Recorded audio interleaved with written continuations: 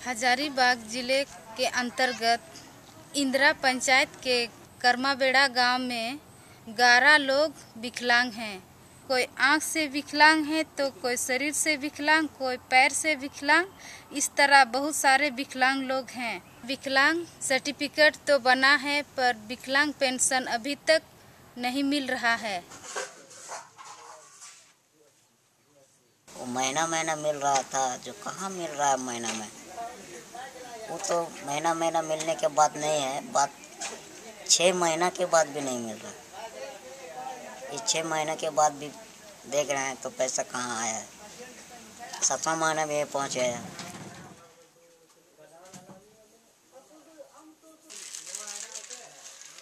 आपके अलावा कितने विकलांग लोग हैं यहाँ?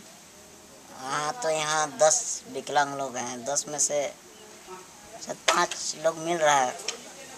पाँच नहीं मिल रहा होगा। और मैं नौ साल से विकलांग हूँ और मुझे अभी तक कोई पेंशन नहीं मिल रहा है। तो गाँव के किसी मुखिया से बात किए हैं आप? बातचीत किए थे लेकिन अभी तक उसका परिणाम नहीं मिला है। यदि हो सके तो वो जल्द ही मुझे पेंशन मिल सके। जो पैसा हम लोग विकलांग में मिल रहा है वो लोग भी मिलना ज़रूरी है। जो मिल रहा है तो मिल रहा है लेकिन जो नहीं मिल रहा वो लोग भी मिलना चाहिए।